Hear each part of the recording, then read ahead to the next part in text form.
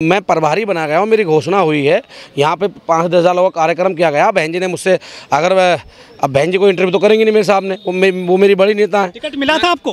हाँ हाँ टिकट किसे कहा जाता है? बहन जी ने ये कहा कि मेरी तरफ़ से इसकी घोषणा कर दो अब ये प्रत्याशी है। और यहाँ रामाभाई पार्क में आप लोग आए या नहीं आए आप समाज क्षेत्र से पूछिए अखबारों कटिंग है कि रवि गौतम यहाँ के प्रभारी हैं प्रत्याशी होंगे। इनका टिकट फाइनल हो गया है। कल मुझे बुला करके वहाँ मना किया। जब भी तो मैं यहाँ पे जो है समाज को इकट्ठा कर रहा हूँ। ये कौन लोग थे आपके साथ जो बहन जी के पास ले गए थे आपको? मैंने बताया तो आपसे राइन है नसीमुन सिद्दीकी है राजकुमार है कुलदीप है नसीमुन सिद्दीकी है राइन है राजकुमार है मुनकाद अली है।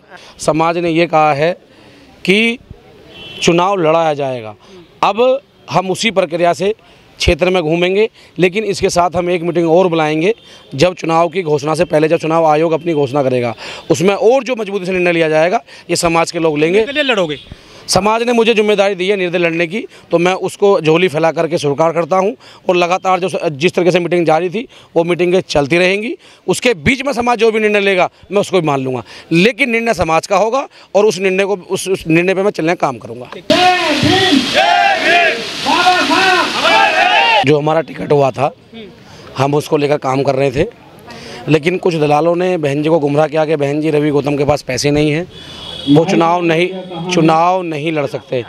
दूसरी चीज़ कि बहन जी, उन पे मुकदमे हैं। लेकिन जो मुझे मैंने महसूस करा कि दलालों को पैसे ठगने का एक बहाना चाहिए, मैं ऑलरेडी पहले ही बता चुका था, क्योंकि जब भी कोई प्रक्रिया होती है, एक एक रिज्यूम जाता है।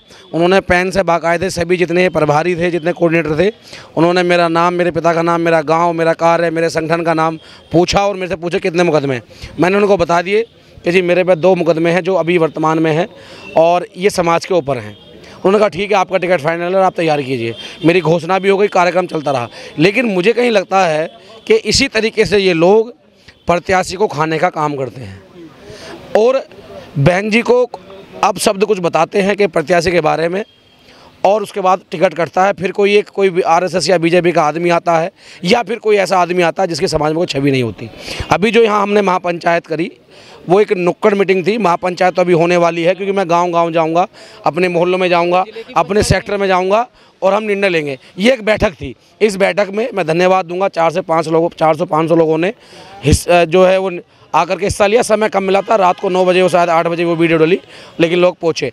लेकिन जब चुनाव से पहले एक महापंचायत और होगी जिसमें आह्वान किया जाएगा कि रवि गौतम चुनाव लड़ रहे हैं जो आज घोषणा हो चुकी है राज सिंह जी हैं जेपी भाई हैं देशराज भाई हैं बाबू जी हैं। यहाँ के कम से कम कम से कम 100-200 पुराने पार्टी के भी और समाज के वजनदार लोग थे। बाकी पूरा यूथ खड़ा है उन्होंने कहा कि भाई चुनाव लड़ाया जाएगा। आप तो लेकिन पीड़ा लेकिन पीड़ा ये है कि अगर पैसे से ही सब कुछ है तो इस देश से कांग्रेस ना जाती। अगर पैसा ही सब कुछ है तो आदरणीय बहन जी सरकार ना जाती अखिलेश सरकार ना जाती क्योंकि समाज बहुत बड़ी चीज़ होती है। और अगर पैसे से चुनाव लड़े जाते तो साथ ही यकीन मानना कि जो ट्रंप भी चुनाव ना हारते। लेकिन बात है सामाजिक मुद्दों की। मैं लगातार ये नहीं कि प्रत्याशी होने के बावजूद ही, उससे पहले भी मैं कहीं लगातार हज़ारों घटनाओं पर हज़ारों मैंने ज्ञापन दिए हैं समाज को लेकर के। इसलिए समाज आज मेरे साथ खड़ा है। और मैं वादा कर रहा हूँ, जो इस बसपा का प्रत्याशी होगा, मैं उम्मीद करता हूँ वो मेरे परिवार से हो तो मंथन चिंतन होते हैं।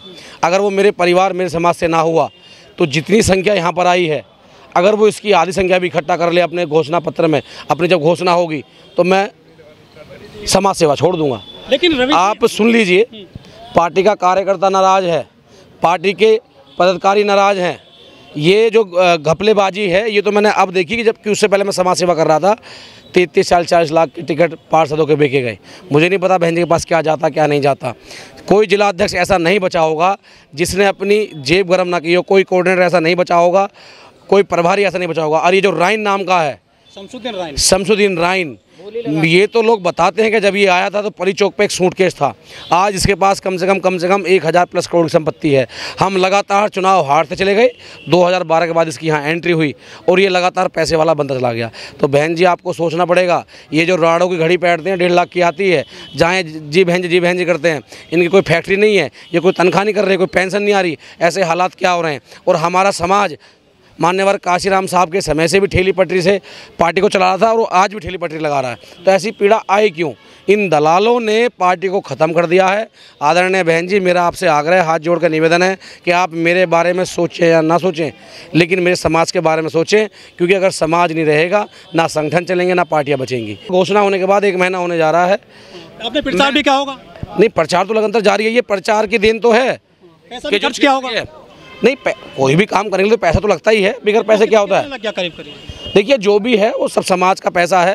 और तीस से पैंतीस लाख रुपए लेकर घोषणा घोषणा से लेकर हम लोग खर्च कर चुके हैं लेकिन लेकिन में दिए थे कुछ? नहीं पार्टी फंड में जो जाता है पार्टी मज़बूत करने के लिए वो हमने पैसा दिया। उसमें कोई दो राय नहीं है और हम आगे भी देने को तैयार हैं। हमारी अपनी पार्टी है लेकिन पार्टी कम से कम समाज हित में तो सोचे। पार्टी हित को जो जिनको जिनको बहन जी ने ज़िम्मेदारी दे रखी है कम से कम वो समाज हित में सोचे। मैं अभी फिर कह रहा हूँ अभी मैंने समाज में कहा कि अब भी बहन जी मौका है, इस सीट पर नहीं, उत्तर प्रदेश की दस सीटें जो हैं और ख़ास करके जो पूरे देश में चुनाव होता है, उन पर आप मंथन करें। ऐसा क्या हुआ है कि साहब काशीराम साहब के जाने के बाद आप सरकार में आए मान्यवर काशीराम साहब का 9 अक्टूबर 2006 को निधन हुआ। मैं मैं समझ सकता हूँ कि साहब की संपत्ति होगी, साथ में सरकार बन गई, क्योंकि चुनाव हो गए उसके बाद। लेकिन ऐसा क्या निर्णय है कि बारह के बाद हम लगातार हारते जा रहे हैं, हारते जा रहे हैं, हारते जा रहे हैं? बार बार राइन को यहाँ क्यों लगाया जाता है? मुनकादो क्यों लगाया जाता है? हमारे अपने परिवार के लोग जिन्होंने पार्टी को खड़ा किया, कभी उनको पश्चिमी बंगाल, कभी उत्तराखंड, कभी जम्मू कश्मीर, कभी छत्तीसगढ़, कभी असम पसम लगा दिया जाता है। क्या ये राइन की ज़िम्मेदारी नहीं है? क्या ये मुनकाद की ज़िम्मेदारी नहीं है? कि उनको क्यों नहीं लगाया जाता वहाँ पे? मैं गया हूँ अपने मुस्लिम समाज के लोगों पे। मुझे आज इस विधानसभा की गली गली याद है। मुझे चंडीगढ़ गली याद है। मुझे पंजाब गली याद है। मैं अपना घर, परिवार, अपने समाज को त्याग करके समाज को खड़ा करने का काम करता हूँ। पहले मैं राइन की बात बता दूँ आपको।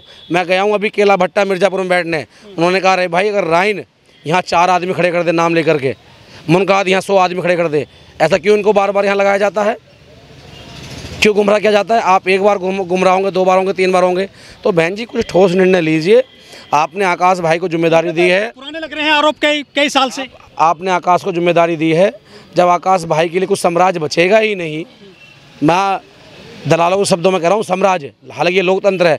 जब कुछ बचेगा नहीं तो आप क्या करोगे? और रही बात आपने कहा कि बहन जी से दिल्ली मुलाकात हुई मेरी मुलाकात हुई है। बहन जी ने मुझे कहा है कि भाई आपका टिकट कट गया है और आप चुनाव नहीं लड़ेंगे। इन्होंने आप, खुद मना किया है आपसे।